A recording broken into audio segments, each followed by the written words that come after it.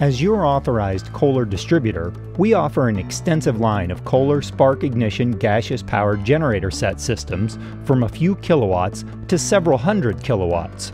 Gaseous generator sets are a very reliable power supply for prime and standby power applications.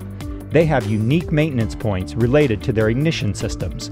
Your authorized Kohler distributor has maintenance programs for performing ignition system maintenance on gaseous fueled generator sets in the standby market, it is recommended every five years.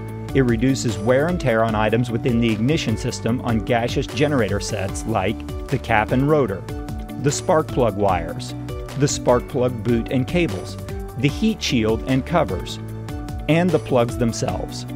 These wear and tear items break down over time, affecting the operation of the engine. On older and newer spark ignition engines, it's important for reliability in starting on emergency standby generator sets. It's also important on newer electronic controlled engines for their emission control systems. If those engines are misfiring or not firing correctly, it can cause problems with the engine control module, air-fuel ratio, and exhaust emissions. There are several steps to take when performing ignition system maintenance. First, take the system offline by pressing off. After the unit is offline, disconnect the engine cranking battery.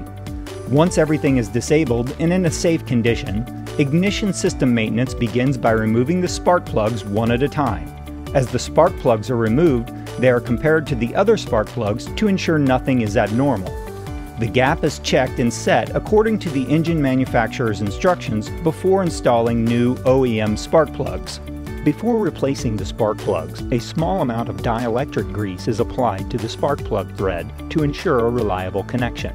The spark plug is then replaced. Before replacing the spark plug wire, a small amount of dielectric grease is applied to the spark plug cap.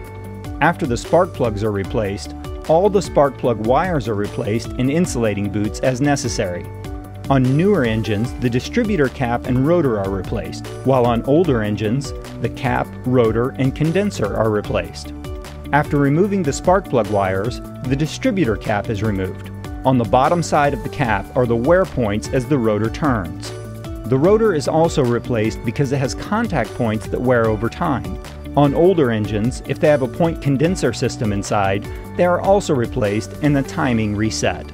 Addressing the wear and tear items within the ignition system of a generator set ensures safe, reliable power when it is required. Consult with us over our ISM maintenance programs.